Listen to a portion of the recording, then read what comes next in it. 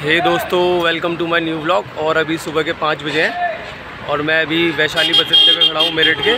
और मैं, और मेरी ट्रेन है अभी गाज़ियाबाद से सात बजे। तो मैं उसी के लिए आया हूँ। तो अभी मैं बस लूँगा यहाँ से, क्योंकि आज मैं झारखंड जा रहा हूँ और मेरी ट्रेन मुझे रात के एक बजे उतार देगी। तो मैं आपको दिखा देता हूँ, मेरी बस खड़ी है यहाँ पे। तो दोस्तों आप देख सकते हैं यहाँ पे बस खड़ी है गाज़ियाबाद की। तो इसी में अभी हम जाएँगे। तो आइए चलिए, अब चलते हैं बस के अंदर। दोस्तों मैं अब बस के अंदर आ चुका हूँ और बस हमारी चलने वाली है। देख सकते हैं आप। दोस्तों अभी सुबह के छः बजे हैं और मैं स्टेशन पे पहुँच गया हूँ, गाज़ियाबाद स्टेशन पे। आप देख सकते हैं मेरे पीछे ट्रेन भी खड़ी है तो हमारी ट्रेन तो अभी आई नहीं, उसका टाइम सात बज के दस मिनट पे। है तो जब तक वो नहीं आती, जब तक इंतज़ार करते हैं यहीं प्लेटफॉर्म पे ही, आप देख सकते हैं प्लेटफॉर्म पे ही हूँ मैं। और उसके बाद ट्रेन आएगी ट्रेन में बैठेंगे, करते हैं अपना सफ़र शुरू। तो दोस्तों, काफ़ी इंतज़ार के बाद हमारी ट्रेन आ रही है और आज इसका प्लेटफॉर्म चेंज हो गया है। वैसे तो प्लेटफॉर्म नंबर दो पे आती है, पर ये आज प्लेटफॉर्म नंबर एक पे आ रही है। तो आइए देखिए मेरे साथ की ट्रेन कैसे आ रही है हमारी। तो दोस्तों, आप सब देख सकते हैं कि हमारी ट्रेन आ रही है। धीरे धीरे आपको आती हुई दिखाएगी। मुझे तो हॉर्न की आवाज़ भी आ गई ट्रेन की।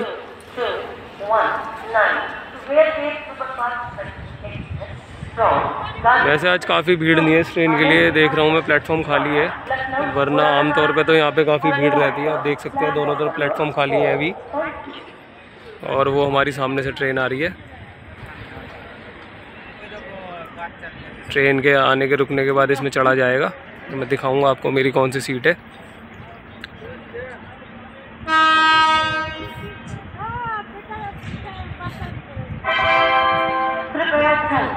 गाड़ी संख्या शून्य दो तीन एक दो चलकर हो जाने वाली प्लेटफॉर्म क्रमांक एक पर आ रही है धन्यवाद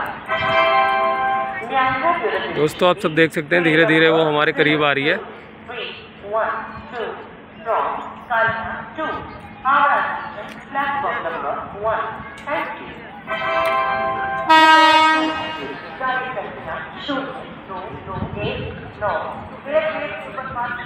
ट्रेन ने हॉर्न दे के भी बता दिया कि जो जो प्लेटफॉर्म के करीब है, वो दूर हट जाए।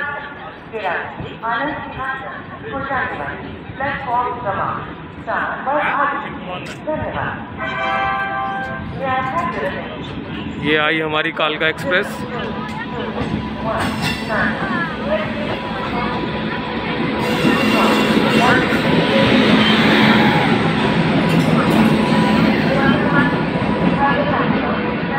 दोस्तों, अब इसके रुकने के बाद इसके अंदर चलेंगे। हमारा कोच है एस टेन उसके अंदर सीट नंबर है फिफ्टी सिक्स तो वो ढूंढ के फिर वहाँ पे बैठा जाएगा।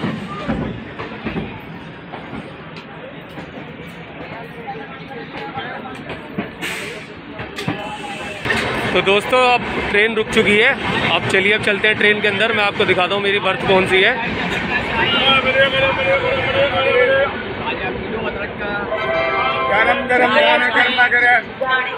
अब चल रहा हूँ मैं ट्रेन के अंदर। देखो, मैं अपनी बर्थ दिखाता हूँ आपको। मेरी बर्थ है फिफ्टी सिक्स और ये मेरी बर्थ है। मैंने यहाँ बैग वैग रख दिया आपने आप देख सकते हैं फिफ्टी सिक्स लिखा हुआ है। ऊपर की सीट मिली है साइड अपर और ट्रेन में भी तो भीड़ है।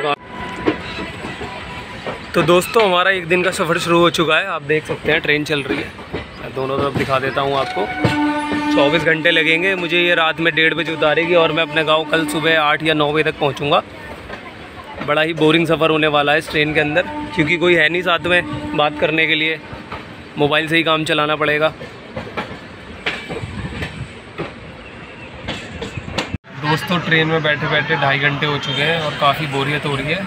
अभी फ़िलहाल ट्रेन अलीगढ़ जंक्शन पहुँची है। आप देख सकते हैं मेरे साथ साथ स्टेशन भी दिखाई दे रहा होगा आपको चलता हुआ। क्योंकि ट्रेन चल रही है अभी रुकी नहीं है स्टेशन पे। अभी हम आ चुके हैं अलीगढ़ जंक्शन। देखिए।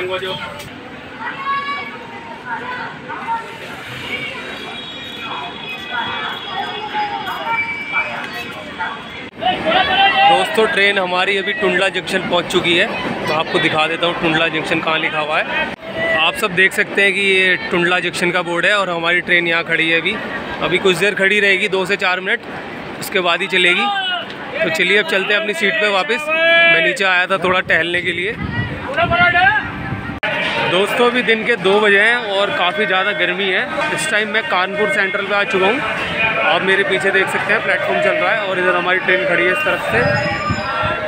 तो यहाँ पे ट्रेन कम से कम 10 से 15 मिनट रुकेगी। तो अभी तो मैं प्लेटफॉर्म पे बाहर आया हूँ थोड़ा टहलने के लिए। ट्रेन के अंदर तो काफ़ी गर्मी लग रही है। ये आप मेरे पीछे देख सकते हैं, प्लेटफॉर्म है। चारों तरफ़ दिखा देता हूँ मैं आपको। दोस्तों, कानपुर सेंट्रल पे हमें कम से कम 20 मिनट हो गए हैं खड़े खड़े पर अभी तक हमारी ट्रेन चली नहीं है। अभी मैं अपना टाइम पास कर रहा हूँ, प्लेटफॉर्म पे घूम घूम के आप देख सकते हैं, चारों तरफ़ भीड़ है और काफ़ी अच्छे प्लेटफॉर्म बना रखे हैं यहाँ पे। जैसे न्यू दिल्ली में है, वैसा ही है सेम यहाँ पे भी। ये आपको मैं जूम करके दिखाता हूँ, यहाँ कानपुर सेंट्रल लिखा हुआ है।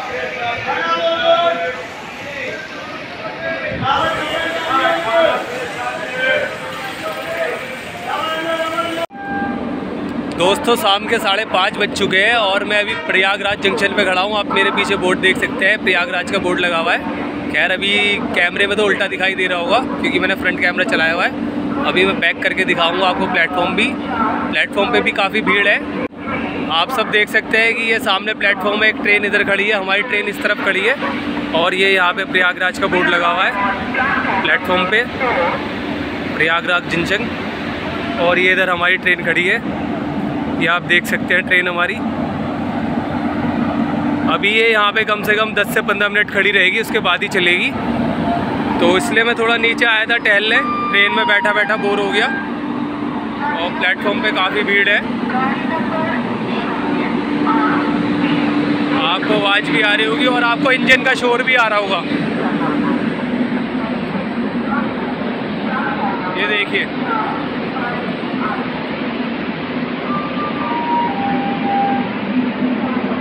तो चलिए अब चलते हैं ट्रेन के अंदर।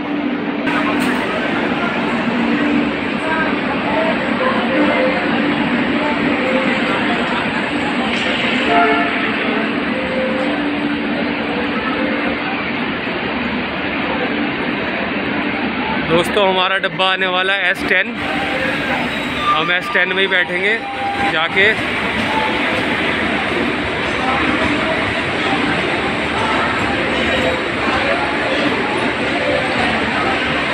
ये हमारा डब्बा आ गया एस टेन आप देख सकते हैं एस टेन लिखा हुआ है यहाँ पे।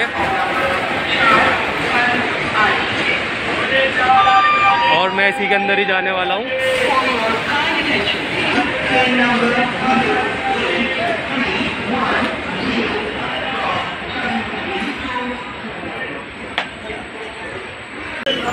दोस्तों, हमारी ट्रेन प्रयागराज स्टेशन से निकल चुकी है। आप देख सकते हैं, ट्रेन चल रही है।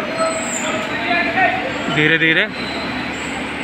और लोग जल्दी जल्दी से चढ़ रहे हैं ट्रेन में, ताकि छूट ना जाए इनकी ट्रेन। ये निकलती हुई जा रही है, थोड़ी तेज़ हो गई और। सामने मालगाड़ी जा रही है ये।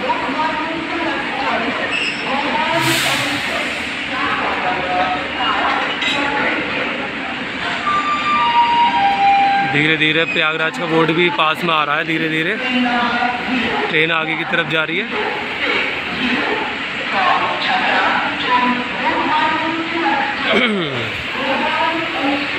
सारे लोग तो ट्रेन में चढ़ चुके हैं।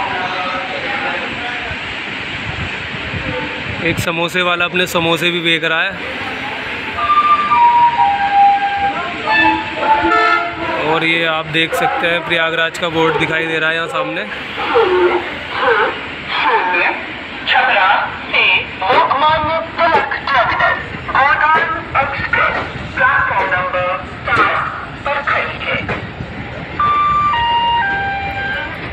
दोस्तों शाम के साढ़े छः बज चुके हैं और हमारी ट्रेन आपको ट्रेन की आवाज़ आ रही होगी। हमारी ट्रेन मिर्ज़ापुर जंक्शन पहुँच चुकी है और मैं भी मिर्ज़ापुर के प्लेटफॉर्म पे ही हूँ। आपने सीरीज़ भी देखी होगी मिर्ज़ापुर। ये वही मिर्ज़ापुर है। ये देखिए मिर्ज़ापुर का बोर्ड लगा हुआ है और हमारी ट्रेन भी चलने वाली है। तो चलिए चलते हैं ट्रेन में वापस। दोस्तों, रात के आठ बज चुके हैं और अभी हम यहाँ पे पंडित दीनदयाल उपाध्याय जंक्शन पे आ चुके हैं। जिसका पुराना नाम हुआ करता था मुगल सराय। आप देख सकते हैं, आप बोर्ड भी लगा हुआ पंडित दीनदयाल उपाध्याय का। और इस तरफ़ हमारी ट्रेन खड़ी है। ये भी देख सकते हैं आप। और ये वाला प्लेटफॉर्म खाली है, अभी इस प्लेटफॉर्म पे भी एक ट्रेन आने वाली है। वो पूरी जाएगी। तो चलिए चलते हैं वापस अपने डिब्बे में।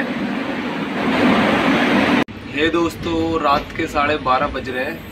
और पंद्रह से बीस मिनट में मेरा स्टेशन आने वाला है, जहाँ पे हमें उतरना है, कोडरमा जंक्शन। तो अभी पंद्रह मिनट वेट करना पड़ेगा, मैं गेट पे आ चुका हूँ। आपको पीछे बैकग्राउंड में दिखाई दे रहा होगा, अंधेरा है। जैसे ही स्टेशन पे उतरेंगे, मैं आपको दिखाऊँगा कि कौन सा स्टेशन है और कहाँ पे उतरे हम। तो दोस्तों, रात के एक बज रहे हैं और हमारी ट्रेन ने हमें उतार दिया है और ये ट्रेन हमारी छोड़ के हमें जा रही है। आप देख सकते हैं सामने सामने ट्रेन जा रही है। और मैं कोटरमा जंक्शन पे आ चुका हूँ। अभी तो रात में तो कोई बस मिलने की नहीं, मुझे अभी यहाँ से कम से कम करीब सत्तर किलोमीटर और आगे जाना है। तो सुबह पाँच से छः बजे के करीब हमारी बस मिलेगी, उस बस को लेंगे, फिर बस से चलते हैं अपने गाँव। और मैं दिखा रहा हूँ अब मेरे आगे आगे ट्रेन चल रही है। आप देख सकते हैं, ये अपनी ट्रेन जा रही है धीरे धीरे धीरे धीरे। छोड़ते हुए और ये बोर्ड लगा हुआ है सामने कोटरमा जंक्शन का। ये देखो।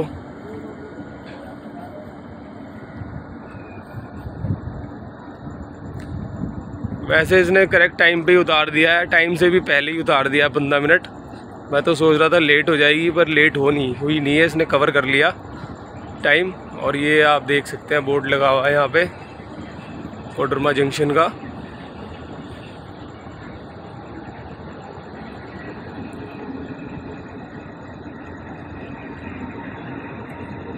धीरे धीरे ट्रेन भी आगे बढ़ती जा रही है।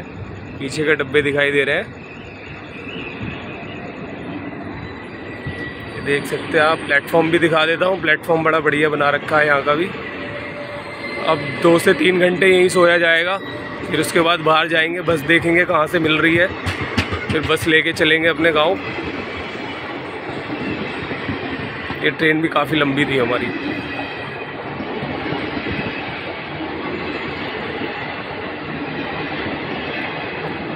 ये देखो। तो चलिए दोस्तों, इस ट्रेन को बाय बाय बोलते हैं और चलते हैं अपने अगले सफ़र की तरफ़। दोस्तों, सुबह के साढ़े पाँच बज चुके हैं और मैंने बस ले ली है अपने गाँव के लिए। आप देख सकते हैं, मेरे पीछे बस है और मुझे पता लगा है कि यहाँ पे लॉकडाउन लगा हुआ है आज। तो किराया मुझसे ना डबल लिया जा रहा है। वैसे सत्तर रुपये किराया लग रहा है। आज मुझे एक सौ पचास रुपये किराया देना पड़ रहा है लॉकडाउन की वजह से।